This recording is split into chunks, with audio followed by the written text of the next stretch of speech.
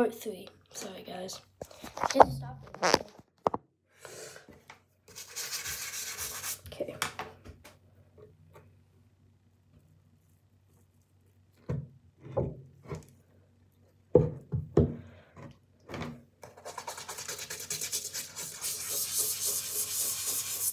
Now I'm just gonna kind of wash.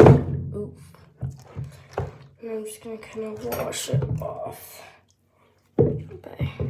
turning it and putting it in the water like this. And just like wiping it. There we go.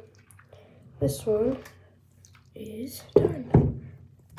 Just gotta rinse it off so it doesn't have any excess either.